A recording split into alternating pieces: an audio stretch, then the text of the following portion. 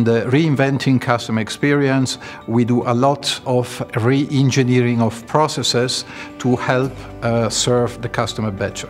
Whereas you can identify the needs, the attitude and the behavior of the customer and push a dedicated, tailor-made message to him.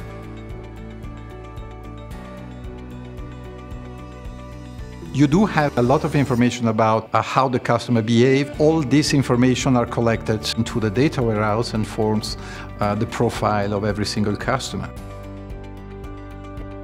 Typically, a message is the same for everybody, and take rates would uh, range about 0.5 to 1%.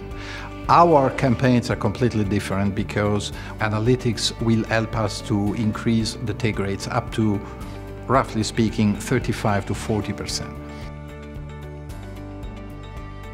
But we also have real-time triggers, whereas, for instance, customer is going very close to an airport. We anticipate that he will be traveling, and then we take action and we try to make his upcoming travel more comfortable, either by proposing him roaming packages or uh, something that he might be interested in.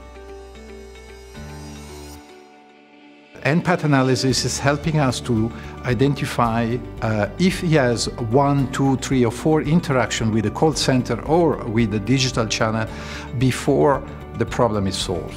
Up to 30% within one year was the reduction of calls to the call center because we improve customer experience Teradata is giving us the ability to roll out something like 51,000 campaigns per month. There is an increase in complexity, but we manage that very, very well only because of Teradata.